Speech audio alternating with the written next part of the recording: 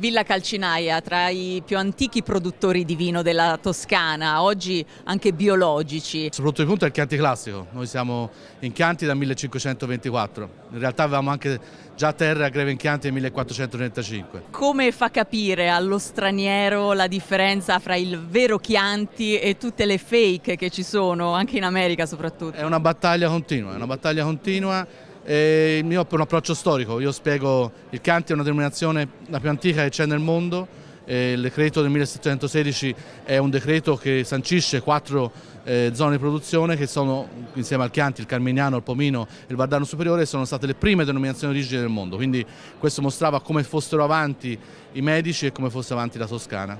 E questo si sente nel bicchiere? E si sente parecchio nel bicchiere. Come è cambiato il vino, non dico in questi secoli, ma anche in questi ultimi anni? Cambiamenti climatici, nuove produzioni, voi adesso siete biologici? Certo, noi siamo biologici dal 2000 e mm, devo dire che il cambiamento climatico da un certo punto di vista egoistico a noi è andato bene perché in Val, di Greve questi 2-3 gradi in più hanno significato in questi ultimi anni soprattutto una maggiore, eh, una più facile raggiungimento della maturità dell'uva. Dal Rinascimento a oggi cosa non è cambiato nel produrre vino? Probabilmente la burocrazia.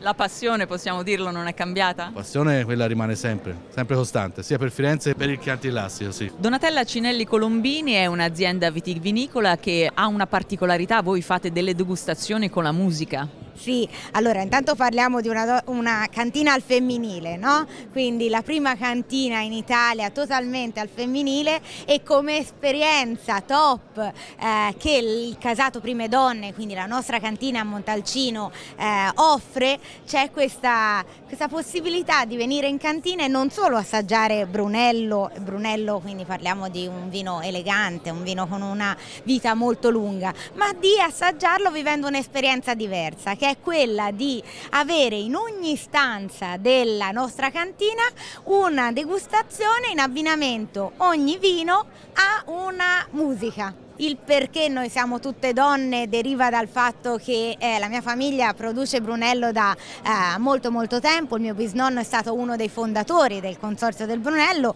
ma mia mamma quando eh, è partita aveva bisogno di un cantiniere, di un buono studente, erano tutti occupati, ma quando la domanda fu riproposta al femminile la risposta fu totalmente diversa. Signora, se lei è sicura di volere una donna a eh, organizzare le, le sue cantine sono le migliori della classe, quindi perché no essere diversi e far vedere nella zona nord di Montalcino, quindi quella più fresca, quella dove i vini vengono più eleganti, far vedere un tocco che è ancora più sull'eleganza. Ormai il 28% dei produttori toscani di vino è biologico, ma il vero precursore del vino biologico in Toscana è la tenuta San Vito. È una scelta che ha pagato?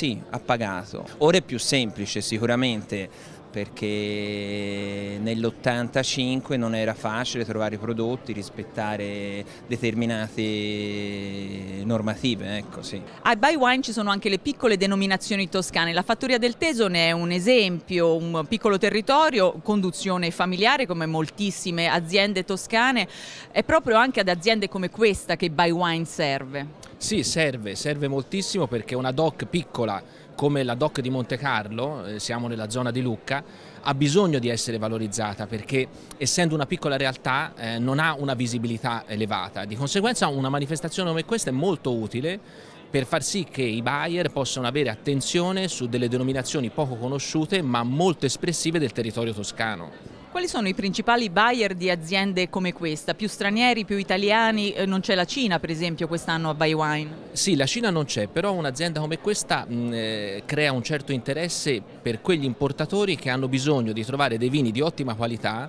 meno conosciuti eh, e che riescano a valorizzare bene il territorio.